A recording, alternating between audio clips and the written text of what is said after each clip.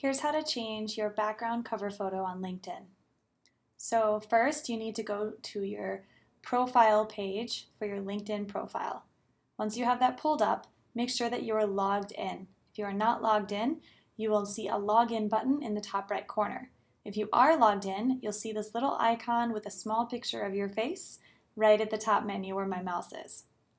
If you're logged in, then you'll go down to your profile and on the right hand side, select the blue pencil.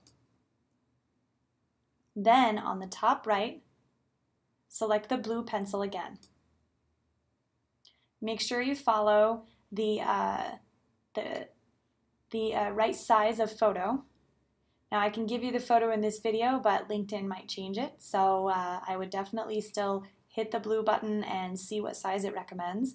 Right now, it's 1584 by 396, but also keep in mind that LinkedIn doesn't display the full size of the photo. They tend to crop it down. Uh, you can see that, you know, I didn't take that into account the last time I uploaded one. Uh, so part of mine is cut off as a result. So make sure you center anything that you actually want to make sure shows up on your photo. So you can adjust it and then you can upload any photo you want. When you're done, hit apply and your photo will be uploaded. Make sure you hit save in the bottom right hand corner as well. And you're done.